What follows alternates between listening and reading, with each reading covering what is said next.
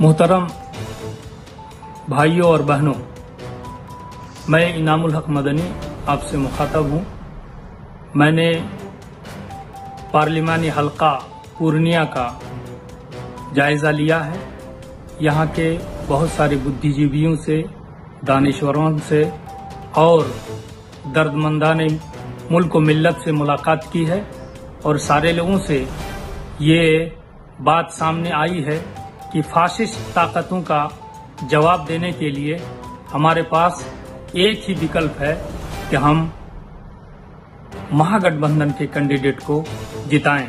महागठबंधन गठबंधन के कैंडिडेट जिस तरह से सीमांचल में तीन मुस्लिम को टिकट दिया गया है, उसी तरह से पूर्णिया हलका से बीमा भारती जो अति पिछड़ी जाति से आती हैं, उनको टिकट दिया गया है।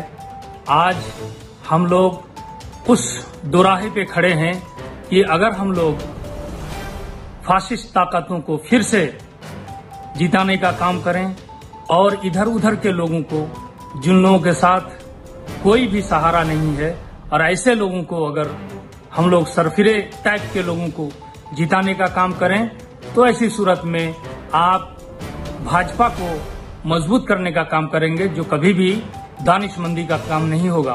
और आपके लिए बेहतर ये होगा कि आप महागठबंधन के कैंडिडेट बीमा भारती जी को दो नंबर बटन पर लालटीन छाप को लालटीन छाप को बटन दबाकर आप उनको जिताएँ। और आपसे ये भी हम निवेदन करते हैं कि ये महागठबंधन की कैंडिडेट हैं, उम्मीदवार हैं। ये राहुल जी और लालू जी और तेजस्वी जी की तरफ़ से इनको यहाँ टिकट दिया गया है। आप बेखौफ होकर तमाम चीज़ों को तमाम इख्तलाफात को और तमाम आ, दिल के ख्वाहिशात को इधर उधर रखकर बालाए ताक रखकर आप फैसला करें कि इस वक्त हम लोगों को संविधान बचाना है मुल्क बचाना है। अगर मुल्क बचा रहा संविधान बचा रहा तो हमारा वजूद बचा रहेगा।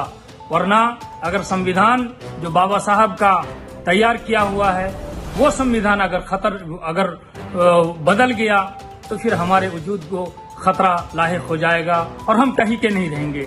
इस वजह से आप लोगों से गुजारिश है कि इस मुल्क के मुस्तबिल के लिए, अपने बच्चों के मुस्तबिल के लिए, अपने आप के वजूद के लिए आप महागठबंधन के कैंडिडेट बीमा भारती जी को दिल खोलकर उनकी मदद करें।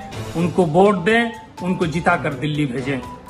आपका दीनी भाई इनामुल हक मदनी, नायब अमीर सूबाई जमीयत अहलेदीस बिहार, और joint secretary all Bihar Shershabadi association, Katihar.